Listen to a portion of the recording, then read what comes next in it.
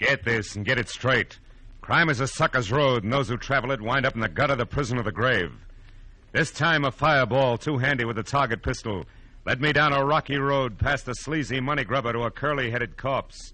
And it might have gotten worse if I hadn't slowed down at the hairpin turn. It happened like this. From the pen of Raymond Chandler, outstanding author of crime fiction, comes his most famous character in The Adventures of Philip Marlowe.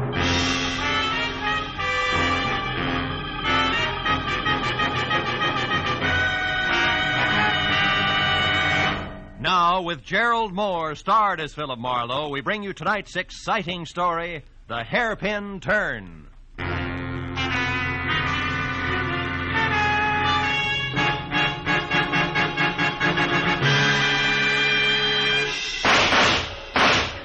Hey, stop it. Put down that gun and listen to me. Stay back, Uncle Enoch. How do you like that? Well, if you could think just half as straight as you could shoot, I'd have nothing to worry about, but you can't. And it's high time you realized that. Oh, there's the house buzzer. Somebody's up at the house, Uncle Enoch. And this is Miles' night off. Well, all right, I'll answer it. I'm expecting a man from the office. But as soon as I've finished with him, you and I are going to have a talk, young lady. Do you understand? I said. Oh, what's the use?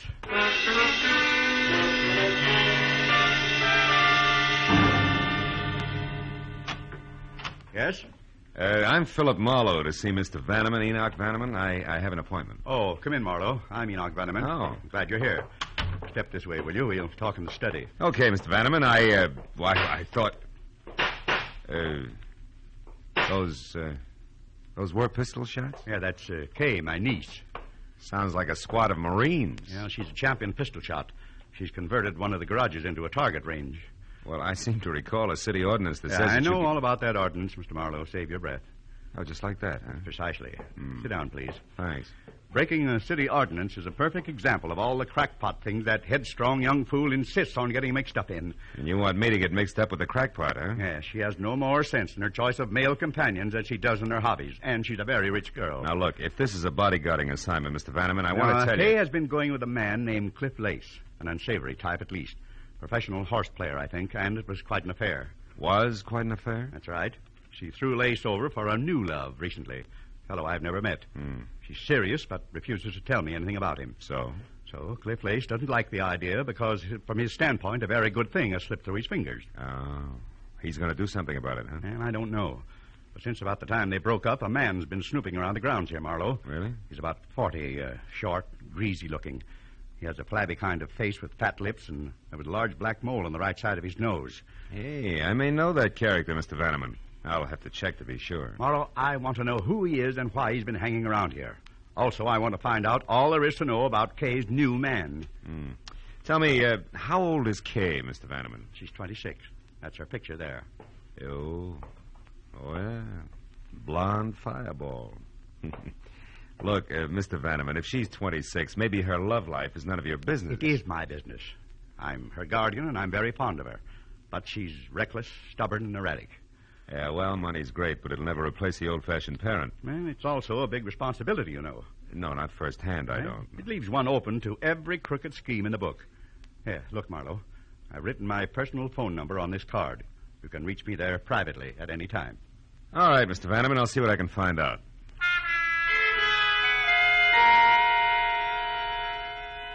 I got in my car and I crossed the two acres of tailored flora the Vannemans called front yard.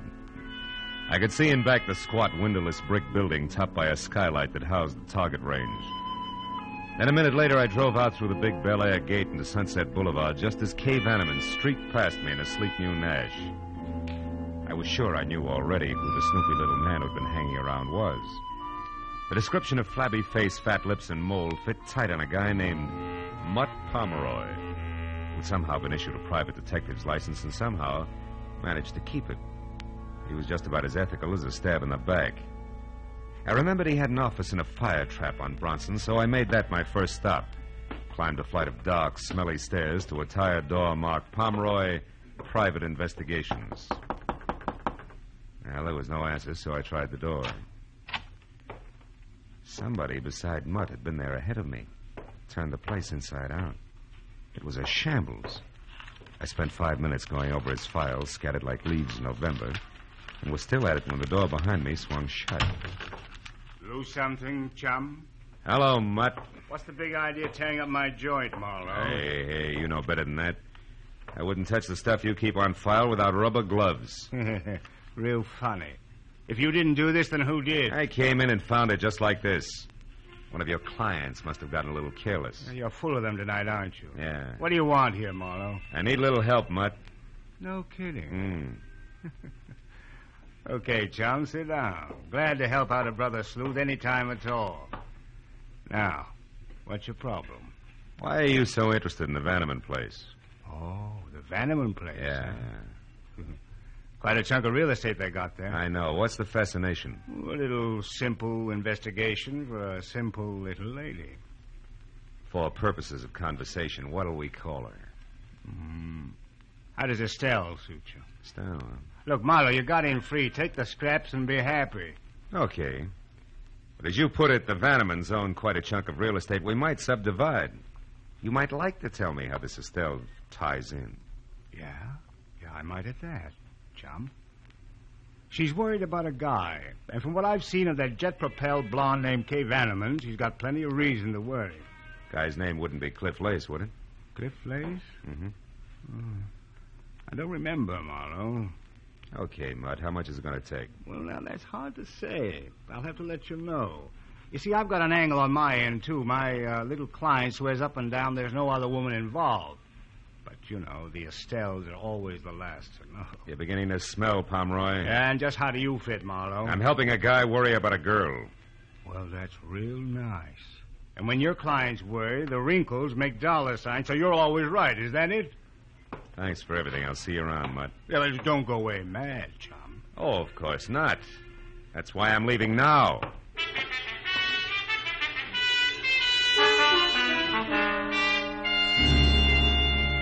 Friend at the phone company all of ten minutes to locate Cliff Lace's address for me, which turned out to be a snug bachelor's nest bungalow style at the foot of the Hollywood Hills, numbered 4300 Cherimoya. I parked, started for the front door, and on the way, past an open window where the silhouette of a man at a telephone was cut into neat slices by a Venetian blind. Oh, but you better want But his voice came through in one piece, and you couldn't miss it. You see, Estelle, I know almost all about you. Oh, yeah, yeah. I got your name earlier tonight from a mutual friend, Mr. Mutt Pomeroy. Yeah. yeah. I think it's about time we got together for a little business conference, huh? Now, right there at the plaza in, say, two hours? Now, you'll still be registered as Ruth Bridges. Good. Goodbye, Estelle. When he hung up, he moved over to a bottle of Johnnie Walker scotch. I waited until he'd helped himself, and then I went to the door.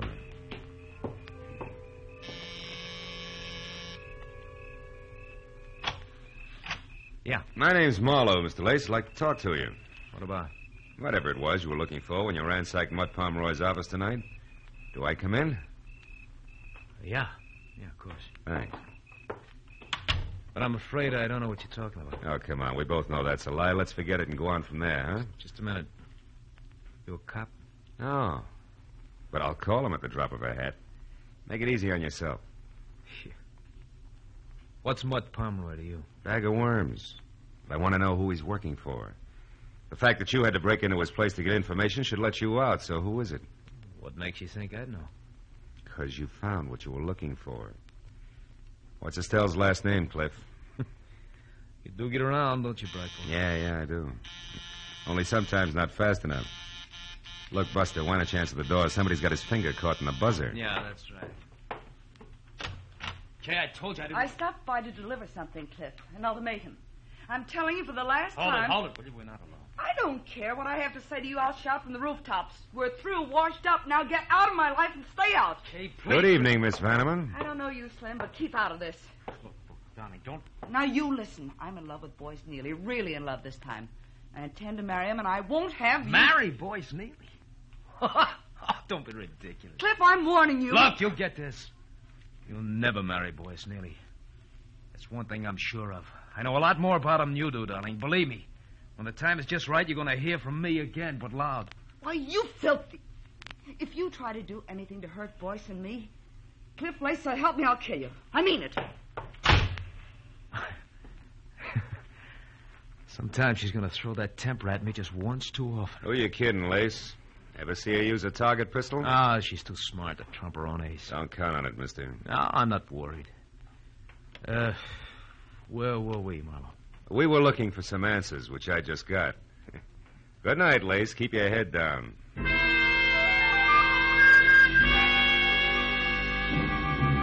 The way things were breaking, I was sure if I didn't get to the woman named Estelle before Lace did, I wasn't going to get anywhere. So I spent the next hour folded up in a phone booth running down the list of respectable and semi-so hotels with the word plaza either fore or aft. Finally, a flute-voiced night clerk in a mid-Victorian number called the Royce Plaza confessed that they had a Ruth Bridges, which was the name that I'd heard Lace mention. She was registered from Santa Monica, but at the moment out. I was convinced that she was really Estelle, Mutt Pomeroy's client. So I drove over to the hotel, invested five bucks with the night clerk, picked up a newspaper, and waited. Halfway down the sports page, a prim brunette came in who would have been pretty without the overload of nervous strain stamped on her face. As she crossed the deserted lobby, the clerk gave me a nod, so I called her name, caught up with her at the foot of the stairs. You. You called me? Yeah, if you could spare me a minute, Miss Bridges, I'd like to talk to you. What do you want? Well, my name's Marlowe. I'm a private detective. A private detective? Yeah, look, honey, let's move over into the corner. You know, that boy on the desk is going to sprain his neck if we don't. But what do you want with me? Well, suppose we start off with your real name, Estelle.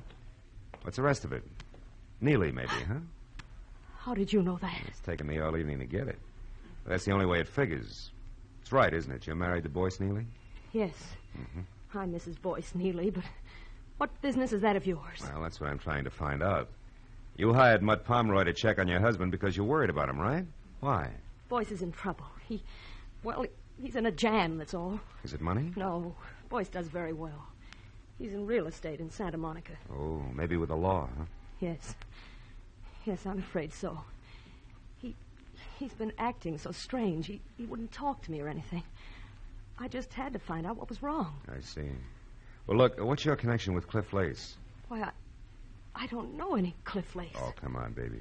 Take it a little easy and try again. Cliff Lace, I know you called him tonight, and he called you. All right. He. He wanted to talk to me about. about Boyce and. and some girl named Kay Vanneman, but. He's crazy. I know he is. Boyce is not mixed up with another woman. He couldn't be. I hope I meet your husband soon, Mrs. Neely. I'd like to punch him in the nose. What do you mean? But Pomeroy was right. The Estelles are always the last to know. Look, do me a favor. Will you go up to your room, go to bed, and get some sleep? You're going to need it. All right. Thank you, Mr. Marlowe. Mm. Hey, uh, Buster, where's the phone? Oh, right over there, sir. Good book? Huh? Oh, yeah, yeah, great. Chandler's new one, you know. Chandler. Chandler. Where have I heard that name before?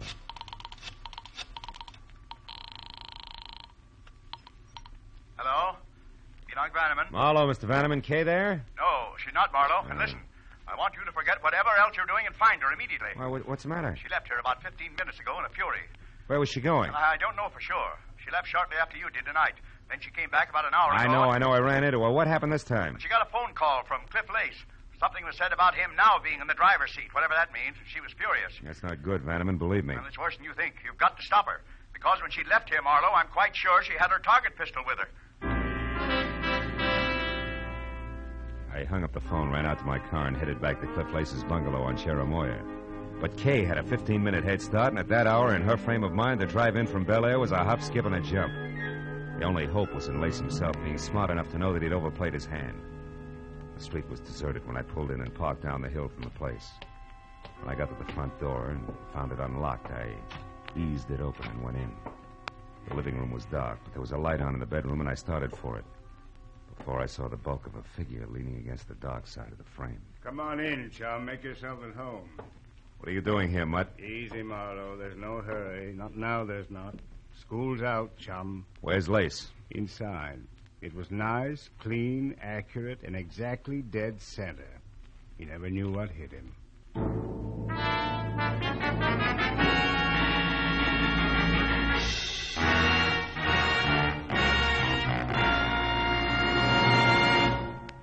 In just a moment, the second act of Philip Marlowe. But first, For a moment, let's look at the headlines on CBS's Entertainment tomorrow night. First, East is East and West is West. So, Jack Benny, on his way to New York, hasn't yet heard that the subway fare is a dime. Second, Charlie McCarthy, already in New York, rewrites Henry Fonda's tough talking Navy officer in Mr. Roberts. And third, Andy of Amos and Andy, released from bail, jail, and Abigail, gets into new hot water. Besides these, you'll also find headliners Eve Arden, Red Skelton, Horace Heidt, and all the other great Sunday night shows on most of these same CBS stations tomorrow night. Now, with our star, Gerald Mohr, we return to the second act of Philip Marlowe and tonight's story, The Hairpin Turn.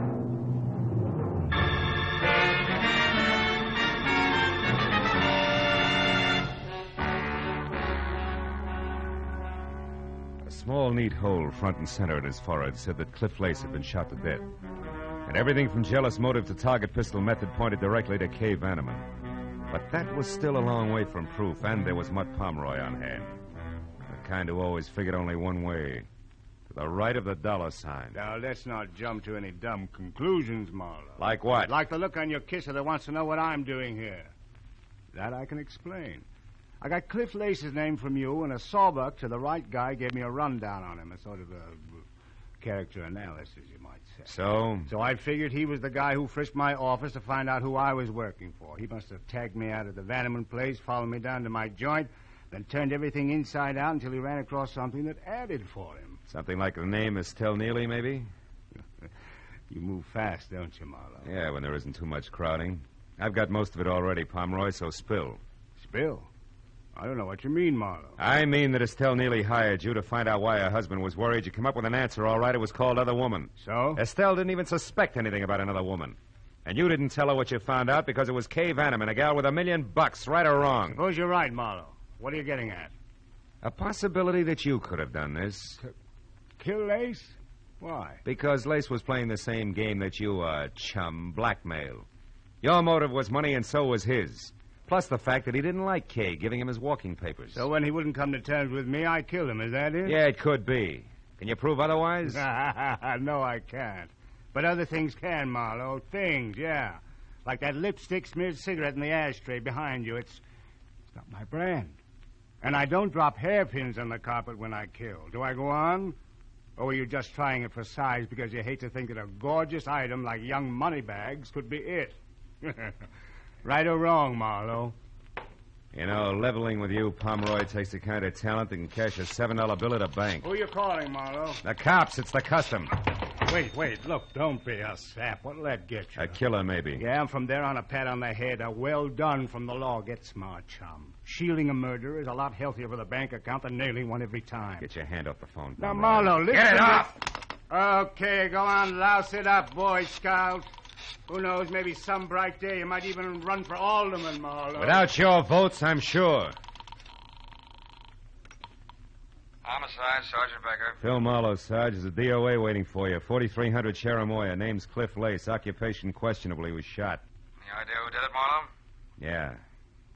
Poor little rich girl named Kay Vanneman, or her sweetheart, one Mr. Boyce Neely. Who lives in Santa Monica? Yeah. Where's the fit? I don't know. How long ago was this lace killed, 30, 40 minutes? Why? Neely's clear. We picked him up at his own home better than two hours ago. He's in a pokey now. What'd you get him on? Hit and run a month ago. It's alleged that he knocked an old lady out of a crosswalk and into a hospital without even stopping to watch her bounce. Some anonymous tipster phoned the dope in around 6 tonight. Said the repaint job on Neely's car would prove it. It did. So that just leaves this Vanneman babe, huh? Yeah, I guess so. But you know, Becker, Hey, there's. Marlowe, come here, quick, out in the backyard there. It's Kay Vanneman. I'll call you later, Becker. We got company. Get the lights, Pomeroy, and stay down. Don't worry, Marlowe. The driveway alongside the house is the only way out. All right, watch it from the front. I'll go through the kitchen and out the back door. Play it close. Check. But remember, Pomeroy, nobody gets trigger happy. Don't worry, chum.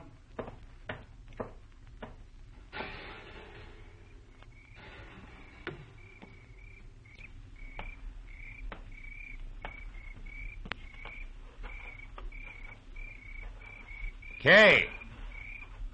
Come on, baby. You're cornered back there. Talk up. Who's that? Philip Marlowe, the guy you saw here with Cliff Lace earlier tonight. I'm also a private detective who's working for your uncle and trying to keep you out of trouble.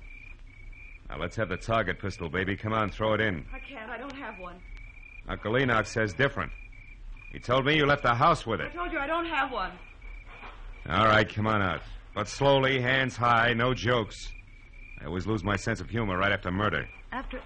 Yeah, yeah. Lace was shot to death. Never mind the carefully arched eyebrows. You're in too deep, honey. You don't think I had anything to do with Cliff Lace getting killed, do you? Oh, no, no. It's all one great big coincidence, huh? Why don't you leave, Miss Vanneman? I said, why don't you leave? Well, I... how about it, Mr. Marlowe? Go ahead. I won't try to stop you. If you're guilty, you won't get very far. Well, all right. All right, Pomeroy, what's on your mind? A partnership, chum. Based on what, chum? Based on the fact that I saw you kill Cliff Lace. Fact? You what? Yeah. I saw you standing over the body with a smoking gun. Come on, come on. You don't think you can really make that stick, do you? No, but it would keep you busy explaining for a while, long enough for me to wind up my business. Oh. Mm-hmm. Well, Marlowe, what'll it be? You and me as partners doing business with old Enoch Vanneman on behalf of the niece I'm sure he'll want to protect? Or me in business for myself? Well, which? It'll be partners, Pomeroy. Okay, chum. Let's get inside and clean up. Mm. The lady was kind of careless around the edges. Hey, hey, the split. Hmm? How far does it go? Fifty-fifty. Fair enough. Fair enough. After you, Phil. Now get that cigarette butt and the hairpin on the copper there. Then tell Sergeant Becker that you were jumping the gun about the Vanneman girl because you just found out that she was at home all night. I'll check the rest. Okay, Mutt. First the cigarette butt, then the hairpin. Uh... Hey. What is it, Marlowe? What's with the hairpin? Why'd you say. Marlowe, quick, get the light. Someone's out front. Don't shoot it. Maybe the law. In skirts? Look, get in that car over there. It's a babe, and five will get you ten that she answers the name of Kay. Oh, that jerk's going to be a Lulu to protect. Yeah. Well, we better go in. Hey, the hairpin you dropped into your pocket, Marlowe. What's so special about it? Oh, nothing. It, it was just a hunch I had. Forget it. Marlowe, I want to see it. Okay. Here. Get a good look. Partner.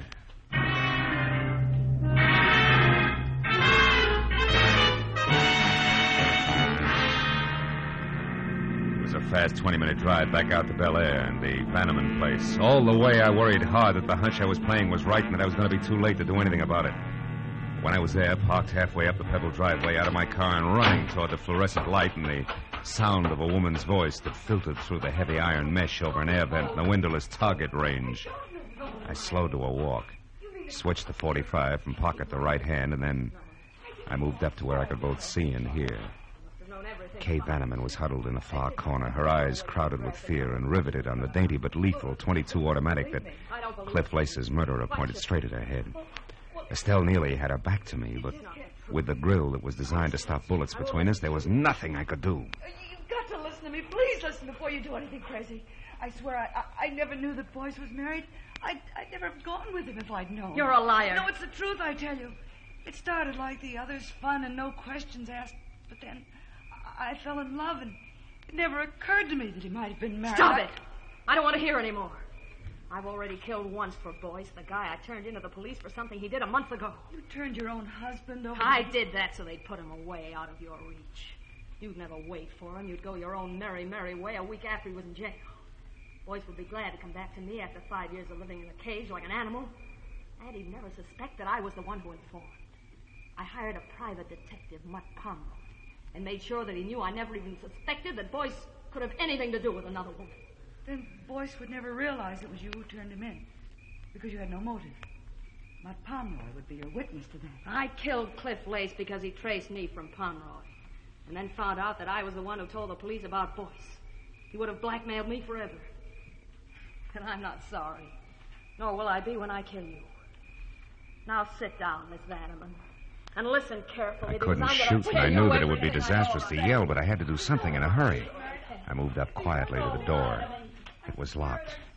That only left one chance the skylight on the roof. The building was low, and a lawn chair nearby was all the help I needed. when I was up and over to the skylight, there was glass and no mesh underneath.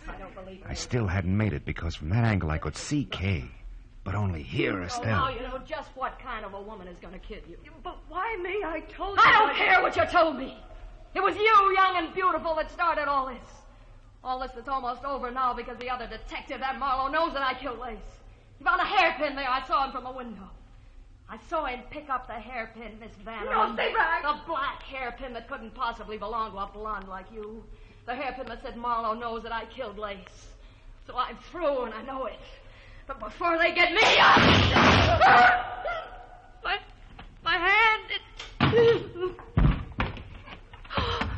Marlowe, is she dead? No, just out.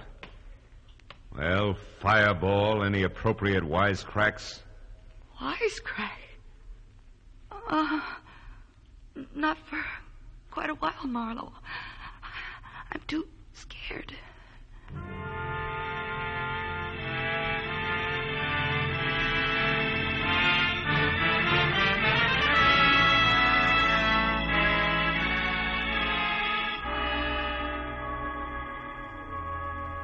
Well, it was the usual hour and a half of questions and answers with client, followed by the same questions and answers with police before I finally closed the door on Enoch Vanneman's marble halls and started down past the manicured shrubbery to where I'd left my car. Outside, the night was cold and clear. And as I walked, I looked up at the vastness overhead and wondered. Wondered why I had the kind of job that made me no more than a houseboy with gun for a rich guy with a badly spoiled niece. But I stopped wondering when I was at my car and no longer alone. I just wanted to say thanks before you left, Phil. I, going to do my best to stay out of trouble from here on out. You know why? No, why? Because I want to be good enough for the right guy who may come along someday. Guy like you, I mean. Oh? Thanks, Phil. I'm very grateful. Yes, well, my job's all right, nine times out of ten.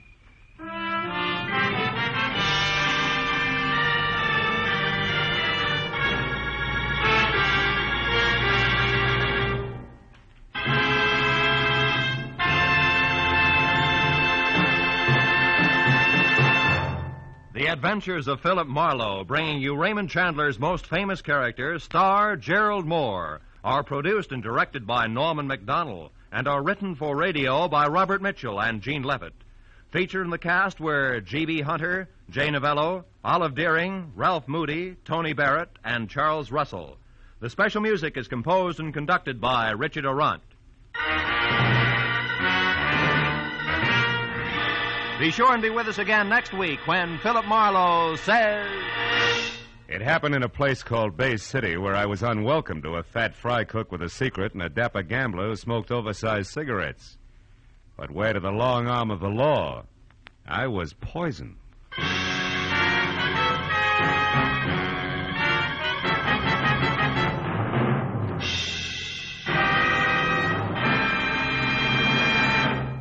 Philip Marlowe has a new night, ladies and gentlemen, Tuesdays. Yes, starting February 7th, the adventures of Philip Marlowe will be heard every Tuesday night at 9:30 Eastern Standard Time. Be sure and listen. Remember, Tuesday night, Marlowe night. And one week from tonight, at this time, you'll find one of your favorite radio families, the Goldbergs. Yes, Molly, Jake, Sammy, Rosie, and all their friends are moving from Friday nights on CBS to Saturdays, starting next Saturday. This is Roy Rowan speaking. Stay tuned now for Gangbusters, which follows on most of these same CBS stations. This is CBS, where the Goldbergs and Arthur Godfrey's Digest will now be heard every Saturday night, the Columbia Broadcasting System.